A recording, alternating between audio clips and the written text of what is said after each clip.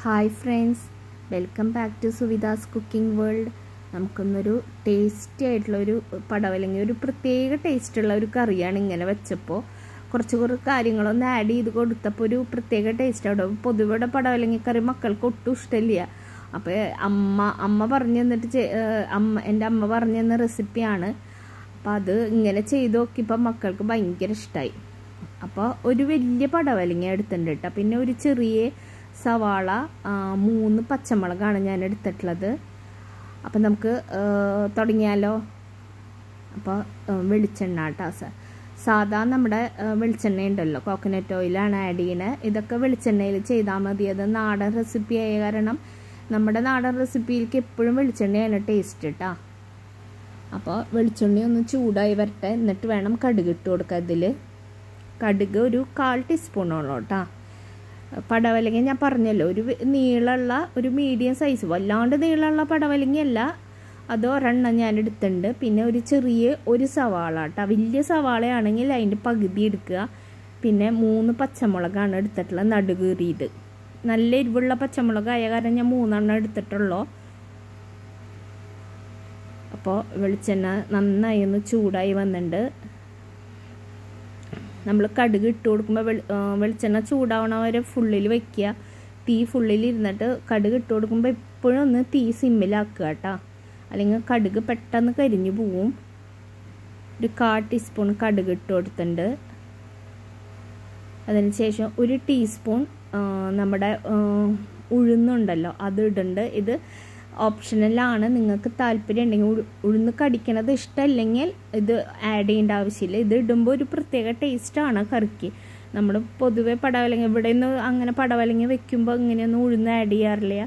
ഇങ്ങനെ ചെയ്തപ്പോൾ നല്ലൊരു ടേസ്റ്റാണ് പിന്നെ ഒരു വറ്റൽ മുളക് ഒരെണ്ണം ഇട്ട് കൊടുത്താൽ മതി കേട്ടോ പിന്നെ ഈ സമയത്ത് കറിവേപ്പില ഇട്ട് കൊടുക്കാൻ ഞാൻ ഇപ്പം ഇട്ടില്ല ഇട്ട് കൊടുക്കാം കേട്ടോ ഒരു ഒരു ചെറിയ സവാള മൂന്ന് പച്ചമുളക് ഇട്ട് കൊടുത്തിട്ട് ഒന്ന് ഇളക്കി കൊടുക്കുക.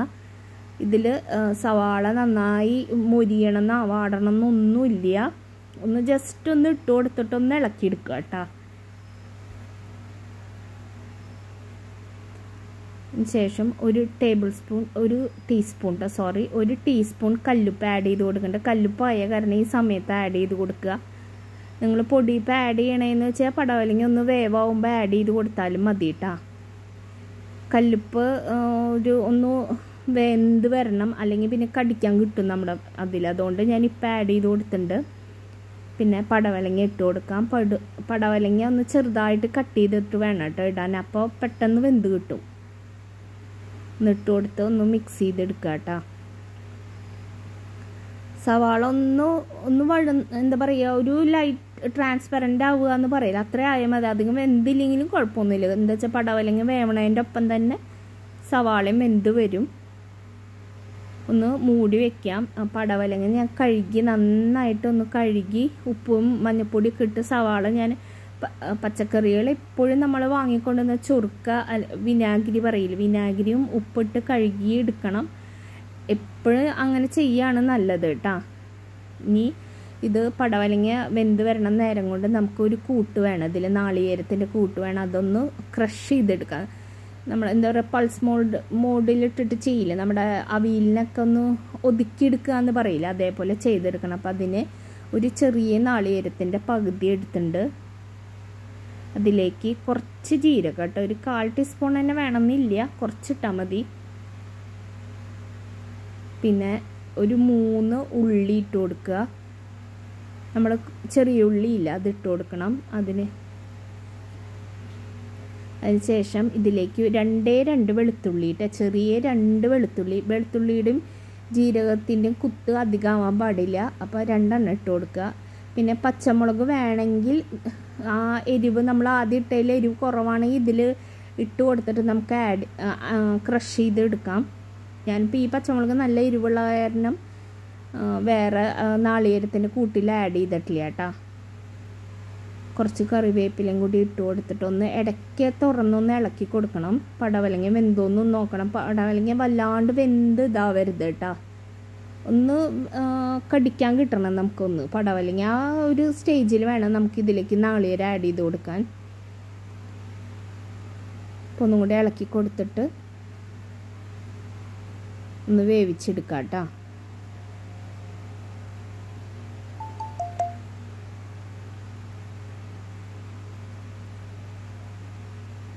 ഞാൻ പടവലങ്ങ നന്നായി വെന്തിട്ടാണ് നാളികേരം ആഡ് ചെയ്ത് കൊടുക്കാറ്.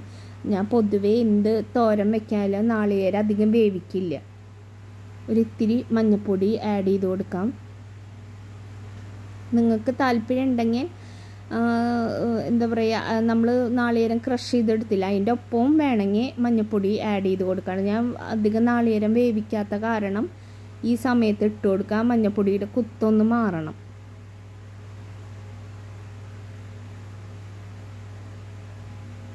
എന്നിട്ടൊന്ന് അടച്ച് വെച്ച് ഒന്നും കൂടി ഒന്ന് വേവിച്ചെടുക്കുക കേട്ടോ. അപ്പം നമ്മുടെ പടവലങ്ങ ഇവിടെ വെന്ത് വന്നിട്ടുണ്ട്. വല്ലാണ്ട് ഇട്ട് വേവിക്കരുത്.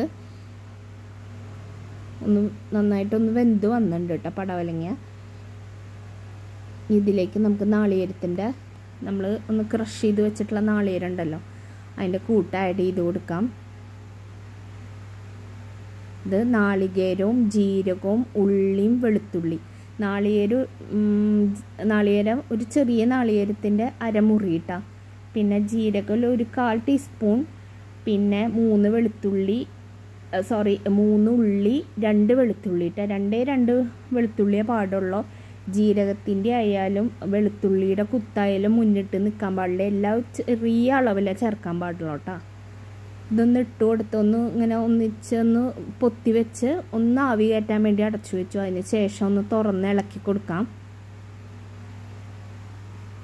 ഞാൻ പറഞ്ഞല്ലോ ഞാൻ നാളികേരം അധികം വേവിക്കാറില്ല.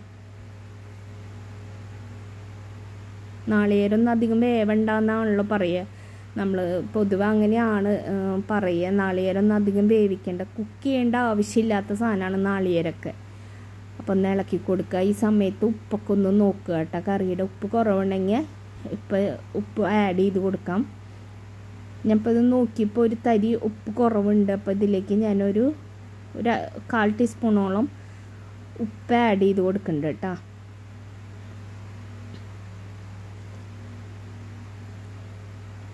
നമ്മൾ അവസാനം ഉപ്പൊക്കെ ഒന്ന് നോക്കുക. ഇറക്കണം നേരത്ത് വേണം ഉപ്പൊക്കെ ഒന്ന് നോക്കാൻ. അപ്പോൾ ഇതിലേക്ക് ഒരു കാൽ ടീസ്പൂണോളം ഉപ്പ് ആഡ് ചെയ്ത് കൊടുക്കുന്നുണ്ട്. എന്നിട്ടൊന്ന് നന്നായി ഒന്ന് ഇളക്കുക കേട്ടോ.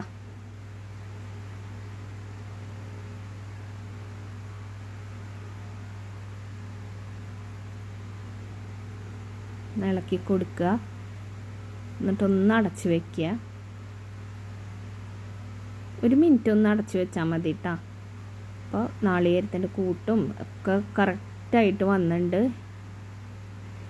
നമ്മുടെ കറി ഇവിടെ റെഡി ആയിട്ടുണ്ട് ഞാൻ ഗ്യാസ് ഓഫ് ചെയ്തു. ഒന്നുകൂടി ഒന്ന് ഇളക്കി കൊടുക്കുക. അപ്പം നമ്മുടെ കറി റെഡി ആയിട്ടുണ്ട്